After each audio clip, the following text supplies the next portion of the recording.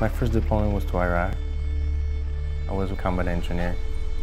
And instead of sending a dog into a building to, to search for booby traps, the infantry team just ran inside and got blown up.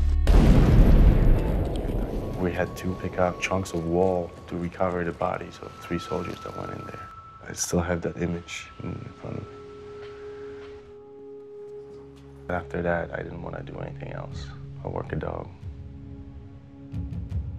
What we're training here are combat dog teams. We're trying to train them to the best of our abilities to be able to go out and to support uh, conventional and unconventional military. My biggest fear would be not finding something and it's right there, and then find out that someone was on that same route, that same area, and got killed. Because I've been blown up. I've seen people blown up. I've seen people die from them. So I have no hesitations going out to find IEDs whatsoever. Is he hit? Bombs, death surrounds them. And in the middle of this is this powerful bond. What we've got is the militarization of love. That friendship, that bond in his eyes was more than I could have ever asked for. Right then, I knew that dog will give his life for me.